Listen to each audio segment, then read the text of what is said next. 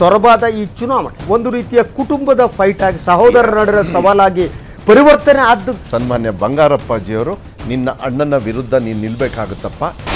ನಾನು ಎಷ್ಟು ಅನುಭವಿಸಿದ್ದೀನಿ ಅಂದರೆ ನಮ್ಮ ತಂದೆಯವರು ತೀರ್ಕೊಂಡು ಹೋಗ್ತಕ್ಕಂಥ ಸಂದರ್ಭದಲ್ಲಿ ನಾನು ಕಣ್ಣೀರ ಹಾಕೋಕ್ಕಾಗಲಿಲ್ಲ. ಯಡಿಯೂರಪ್ಪನವ್ರು ನಿಮ್ಮ ಮೇಲೆ ಅಟ್ಯಾಕ್ ಮಾಡೋದಕ್ಕೆ ಪ್ರಾರಂಭ ಮಾಡಿ. ಹಸಿರು ಶಾಲು ಹಾಕ್ಕೊಂಡು ಇವರು ಮುಖ್ಯಮಂತ್ರಿ ಆದರು ಅವ್ರಿಗೆ ಗುಂಡೇಟ್ ಹೊಡೆದ್ರಲ್ಲ ಇದು ಇದು ಸರಿನಾ? ಮಧು ಬಂಗಾರಪ್ಪ ಯೋಗ್ಯತೆ ನನಗೆ ಗೊತ್ತು ಯಡಿಯೂರಪ್ಪ. ನನಗೂ ಕೂಡ ಅವ್ರ ಯೋಗ್ಯತೆ ಗೊತ್ತಿದೆ. ಬಂಗಾರಪ್ಪ ನಿಮ್ಮ ನಿಮ್ಮ ಪುತ್ರರಾಗಿ ನಿಮಗೆ ಒಂದು ನಿಮಿಷ. ಅನ್ಸಲ್ವಾ? ಟೂ ಹಂಡ್ರೆಡ್ ಪರ್ಸೆಂಟ್ ಅನ್ಸೋದಿಲ್ಲ. ಕಚಡಾ ಮುಖ್ಯಮಂತ್ರಿ ಆಗಿದ್ರು ಅಂತ ಲೇವಡಿ ಮಾಡಿದ್ರಂತೆ. ಹಂಡ್ರೆಡ್ ಪರ್ಸೆಂಟ್ ಸರಿ ಇವತ್ತು ಕೂಡ ಬದ್ಧವಾಗಿದ್ದೀನಿ.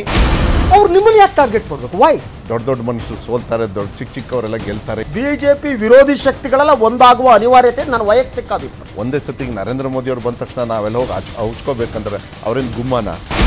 ಅದು ಅಪ್ಪ ಮಕ್ಕಳ ಪಕ್ಷ ಅಂತ. ಯಾಕೆಂದ್ರೆ ಅಪ್ಪ ಮಕ್ಕಳ ಪಕ್ಷ ಅಲ್ಲ ಇಲ್ಲಿ ಮಧು ಬಂಗಾರಪ್ಪ ಇದ್ದಾರೆ.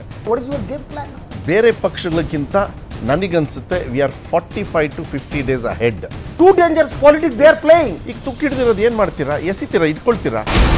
ಈ ಮೂರೂ ರಾಜಕೀಯ ಪಕ್ಷಗಳ plus point and negative points ಯಾವುದು? ಒಳ್ಳೆ ಜನಪರವಾಗಿರ್ತಕ್ಕಂಥ ಸರ್ಕಾರದ ಅವಶ್ಯಕತೆ. ಇದೆ ಇಲ್ಲಿಗೆ ನಿಲ್ಲಿಸ್ಬಿಡ್ತೀವಿ ಬಂಗಾರಪ್ಪನವ್ರ ಬಗ್ಗೆ ಮಾತನಾಡುವ ನೈತಿಕತೆ ನಿಮಗಾಗಲಿ ರಾಜ್ಕುಮಾರ್ ಫ್ಯಾಮಿಲಿಗಾಗಲಿ ಇಲ್ಲ. ನಾನು ಹೇಳ್ಬಿಡ್ತೀನಿ. ಇದನ್ನ ಪಕ್ಕಾ ನಾನು ಹೇಳ್ಬಿಡ್ತೀನಿ.